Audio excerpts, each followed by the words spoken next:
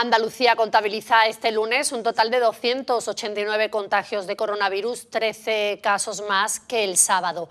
Además, se ha registrado también un fallecido. Así lo ha detallado el consejero de Salud, Jesús Aguirre, quien ha señalado que la incidencia se ha situado en 30,09, en un momento en el que cuesta trabajo ya bajarla porque la franja de 0 a 12 años está sin vacunar y de ahí la incidencia acumulada. Por otro lado, la presión asistencial continúa a su ritmo decreciente. Andalucía registra hoy una bajada de 18 hospitalizados respecto al sábado para situarse en un total de 186 pacientes. También bajan los ingresados en una unidad de cuidados intensivos, son tres pacientes menos, con lo que la cifra total de los enfermos en UCI asciende a 46 personas.